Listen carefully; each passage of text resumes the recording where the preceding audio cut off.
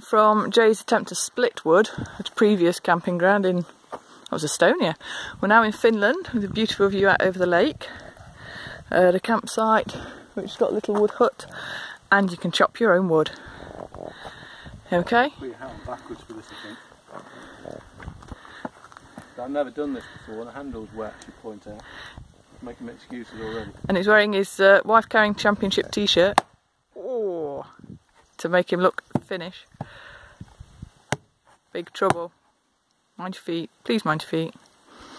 Yeah, it's supposed to have uh, lots of health, health and safety gear on.